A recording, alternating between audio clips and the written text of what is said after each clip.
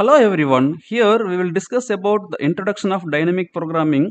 The dynamic programming is finding many feasible solutions here uh, when uh, which is solving the problem. It solves the problems by combining the feasible solutions of each and every subproblem.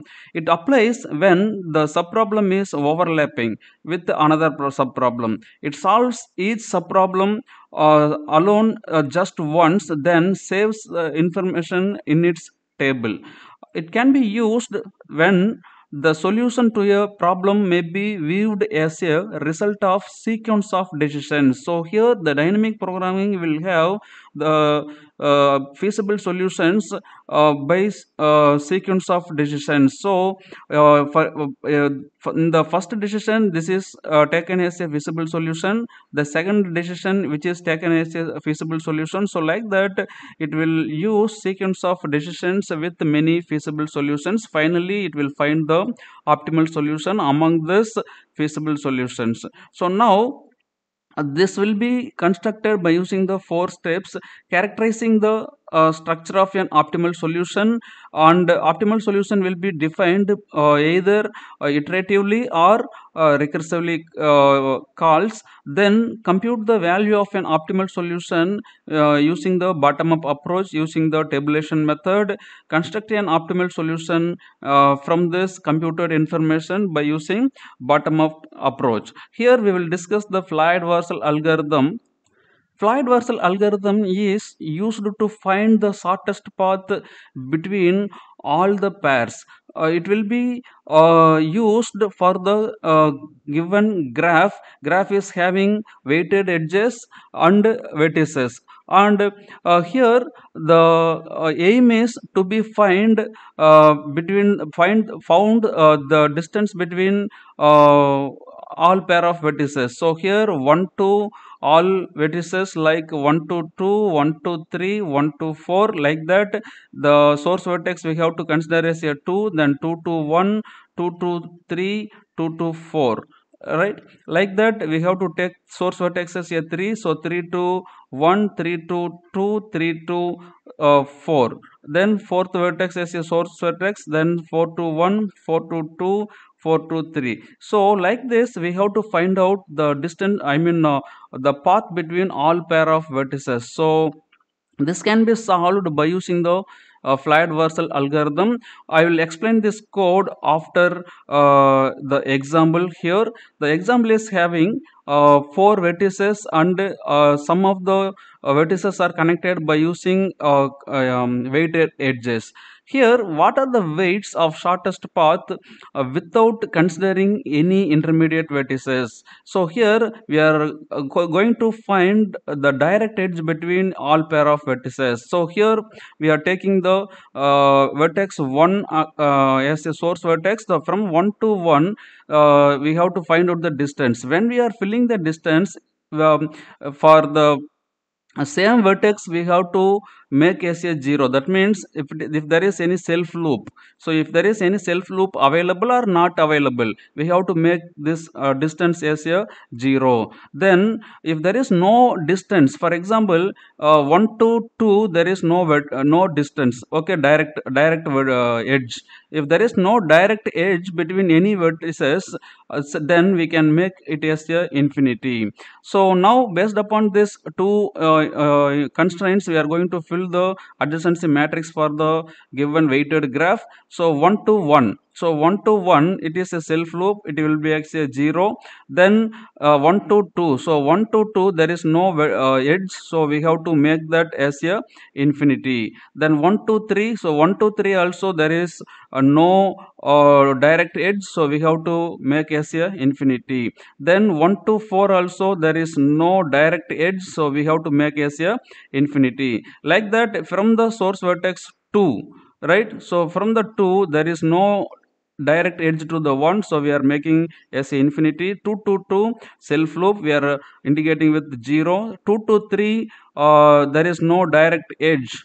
Uh, 2 to 3 then we, then we have to make as infinity. So we have represented here. 2 to 4 2 to 4 uh, there is the 4 as the uh, edge cost. So we are representing that. Then uh, 3 is the source vertex. So 3 to 1 we are having 3 then 3 to 2 yes we are having 2 then 3 to uh, 3 there is self loop that is 0 then 3 to 4 3 to 4 is here uh, 9 so we have filled that here then 4 is the source vertex so 4 to 1 infinity 4 to 2 so 4 to 2 we are having 6 right? So 4 to 2 we are having the 6 so it is uh, filled here. 4 to 3 there is no direct edge. Then we have to make as a infinity. 4 to 4 the same vertex. So we are making as a 0 so this is already we have told. Uh, 3 to 2 is here uh, the distance is 2 now we have constructed one of the feasible solution. So this is uh, uh, one of the decision as of now. Then we are going to consider uh, any vertex as intermediate vertex. So we have to go sequentially. The first i am going to use the intermediate vertex is a 1 so from this existing solution we are going to find new solution by using the vertex 1 as a intermediate vertex. So i am going to use intermediate vertex is 1 so this is the existing solution we have constructed in the previous slide. Now when you are taking the intermediate vertex is 1 then you can make this entire row and entire column of that intermediate vertex is uh, same values what we are having uh, in the existing solution. Because since it is the intermediate vertex there will not be any change in this row of values and columns of values. So i am making that same values uh, as, as, it is.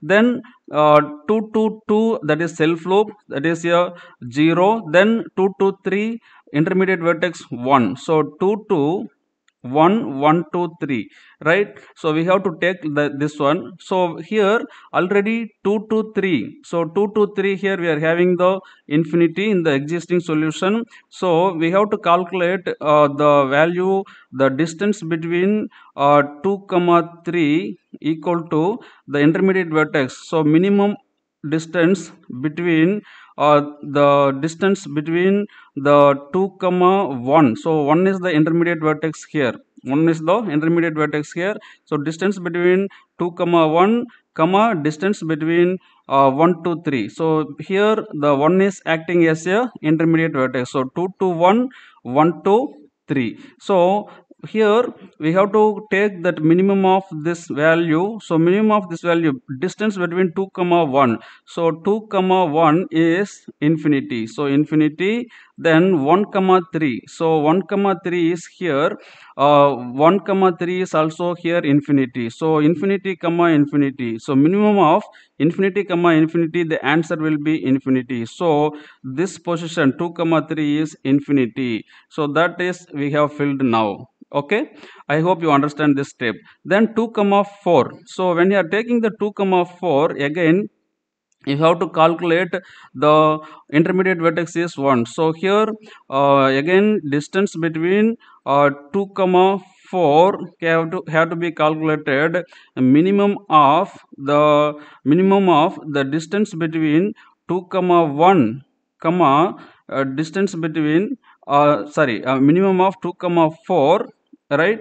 Uh, here uh, then uh, minimum dis uh, uh, distance between intermediate vertex 2 comma 1 uh, plus distance of 1 comma 4 okay? So that we have to do, do this. So 2 comma 1 then 1 comma 4 okay? So we have to use that. So 2 comma 1 so 2 comma 1 is here infinity. So the here it is infinity 1 comma 4 1 comma 4 is here infinity. So here infinity plus infinity is the infinity.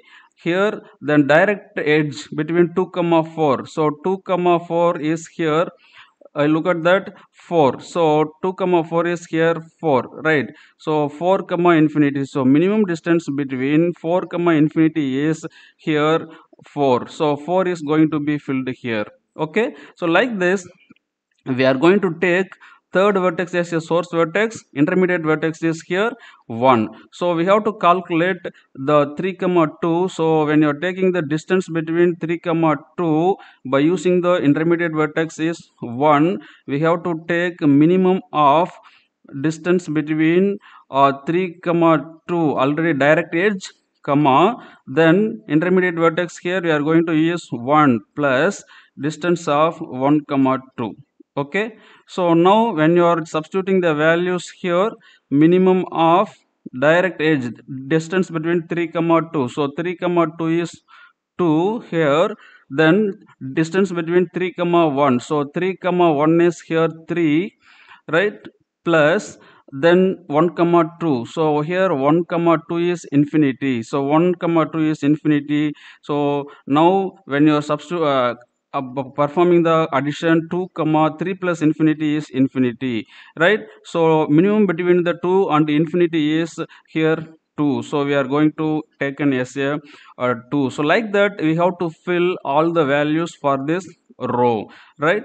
Then after filling this value you will get the distance matrix with intermediate vertex as this one right? So here uh, we got the second feasible solution right? This is one of the decision. Now we are going to construct next uh, feasible solution by using the intermediate vertex 2 so here we have got this is the second feasible solution. The second feasible solution going to be used to find next solution uh, by using the intermediate vertex 2 so here uh, you when you are taking the 2 as intermediate vertex you can fill that uh, uh entire row and column uh, as uh, the already available values in the existing feasible solution. So i am i have filled that.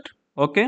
Then i have to find out the distance between remaining vertices right by using the intermediate vertex as a 2 so here 1 comma 1 self loop all this will become as a 0 then 1 comma 3 so when you are calculating 1 comma 3 so right the, the distance between 1 comma 3 you have to be calculated a minimum between okay distance between direct edge 1 comma 3 uh, already we have here. This this one distance of the matrix 1 okay? Distance matrix of 1 uh, uh, 1 comma 3 comma uh, distance between uh, 1 comma uh, 1 comma 2 okay here we are using the intermediate vertex 2 plus distance between 2 comma 3 right? When you are uh, selecting the values okay already this value 1 comma 3 is here infinity. Okay so infinity comma d of 1 comma 2 so d of 1 comma 2 is here infinity then this is also distance matrix 0 uh, sorry 1 okay distance matrix 1 right? Then uh, plus distance matrix uh, 1 of 2 comma 3 so 2 comma 3 is here infinity. So infinity minimum of infinity is infinity comma infinity is infinity. So we are filling this as infinity. So like that here also you will get infinity is the already existing value. So you are getting infinity. So like that you have to calculate here.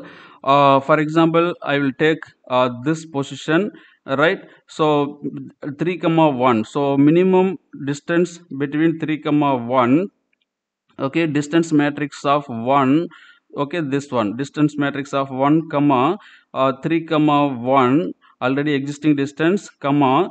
Now we are going to use the intermediate vertex. Distance matrix of 1 of 3 comma 2 plus distance matrix of 1 comma uh, 2 comma here we are going to use 1 okay? So now when you are substituting the values uh, minimum 3 comma 1 is here uh, existing value 3 comma then 3 comma 2 is here 2 plus 2 comma 1 so 2 comma 1 is here infinity. So 2 plus infinity will be infinity right here 3 so minimum among the uh, 3 comma infinity is here uh, 3 so here we are going to use 3 as this solution. I mean uh, solution for this position. So like that we have to fill all the values. You will get the distance matrix this one. Like that we are going to use the intermediate vertex 3 now when you are using the intermediate vertex 3 then this uh, column and this row will become uh, same values whatever we are having here uh, then uh, uh, we have filled yeah this one okay because of the uh, third column and third row right. So now we are going to calculate the values as before right. So we are filling all the values here.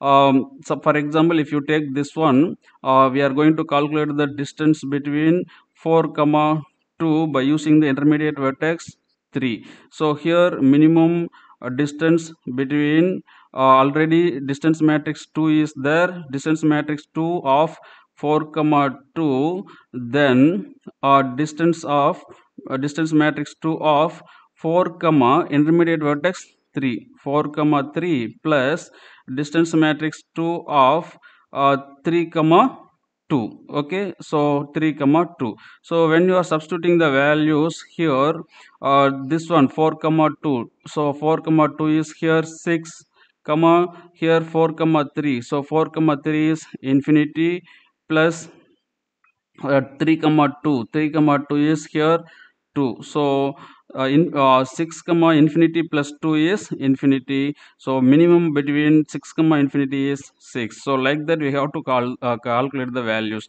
Now we have calculated the distance matrix 3 right with by uh, using the intermediate uh, vertex 3 like that we have to calculate by using intermediate vertex 4 from the existing feasible solution. So this is the uh, fourth uh, feasible solution uh, or fourth decision. So fourth column and fourth row will be, make as a same values available here. Then uh, we are going to uh, calculate the value minimum distance between uh, each and every pair of vertex vertex by using intermediate vertex 4 okay so to the 4 via the vertex 1 no path okay so that's why we have taken same values already given here right? So we have to calculate all the values. Finally we got this is one one of the feasible solution. Now uh, all the vertices are examined as the intermediate vertex. So this is the final solution. You look at that when you're taking 4 comma 1 so 4 comma 1 there is no path. Okay 4 comma 1 is there is no path. So that's why it is infinity. 4 comma 2 so 4 comma 2 is uh, minimum distance is 6 as per our calculation. 4 comma 3 so 4 comma 3 uh, there is no path. Okay. So that's why infinity 4 comma 4 self loop that is 0 okay like this we have calculated. Now uh, this is indicating the predecessor vertex. Which is the previous vertex? When we are going to reach uh, some some vertex with respect to each and every uh, distance matrix. So here when you are taking intermediate without any intermediate vertex here we are mentioning uh, 0 1 comma 1 is 0 1 comma 2 so 1 comma 2 there is no vert, uh, uh, path. That's why we are making that s infinity. So here the bottom one is intermediate vertex. So here intermediate vertex is here uh, without distance without uh, intermediate vertex. Here 2 is the source vertex and 4 is the uh, uh, I mean uh, destination vertex with the distance uh, cost is edge cost is 4 that means this one. Okay? So that's what we are using here. If suppose if you take 6 by 4 that means distance between the 4 comma 2 so 4 comma 2 is 6 uh, the predecessor uh, pre, I mean previous vertex before reaching the 2 is here 4 okay that is the meaning here. When you are taking the uh, distance matrix 1 if you take this one here intermediate vertex we are taking as a 1 okay so when you are taking 3 2 2 so 3 is the source vertex 2 is the destination vertex. So 3 to 2 by using the intermediate vertex which is the shortest cost so there is shortest cost is 2 uh, the previous vertex. Before reaching the 2 is 3 that is the meaning of this one. Like that when you're taking the distance matrix uh, 3 by using the intermediate vertex 4 okay intermediate vertex uh, 4 here uh, when you're taking uh, this one for example you look at here uh, the 3 to 4 so 3 to 4 is here we are having uh, two different paths. You look at that 3 to 4 you are having this one. Okay and direct edge. So here uh, 3 to 4 shortest path is 2 plus 4 6 so that's what given here. Then which is the previous vertex before reaching the destination? So 2 is the uh, previous vertex before reaching the destination. That's what mentioned here. So like this we can uh, use uh, uh, use the intermediate vertex to represent in the table. So it saves the information uh, each and every step. Okay. So for example it is given 3 to 4 as i told you uh, 2 plus 4 and directly 9 so shortest path is here uh, 6 okay. That's what mentioned here. Right. So this is about the Floyd Warshall's algorithm to find out shortest path between each and every pair of vertex. Thanks for watching. Yeah, here uh, I will explain about the code. You see, for matrix to move from row to columns, we are using ith row, jth column. Then the intermediate vertex will be represented by using the k. So the distance between source vertex and destination vertex here we will use source vertex as a row right? And the destination vertex is a column. So for row we are using the i uh, for loop i and destination we are using the for loop j. So distance between source and destination we are going to calculate minimum distance between uh, source and uh, source and destination direct uh, previous solution and we are going to use some intermediate vertex. So intermediate vertex will be uh, uh, you represented by using the k for loop okay? For loop k. So uh, here we are going to use the, uh, uh, one more for loop for the k that is indicating the intermediate vertex. So since we are using we are uh, uh, three for loops the time complexity is order of n cube at the worst case. Thanks for watching